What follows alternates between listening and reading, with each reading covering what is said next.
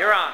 Hi, I'm Stuntman Robbie. uh, basically, my technique with the kettlebells sucked before I did this course. Uh, Jim and Mike, basically, I mean, you think that you, you know, you use the kettlebells all the time, that you actually, you know, you, you think you're pretty confident with the movements, but when you break it down and, and go to the finite detail, which is what Jim and Mike do, is really a course, you really get to understand how to do the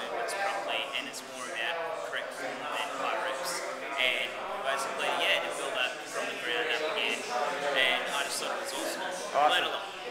Thanks, Robbie. Appreciate it, man.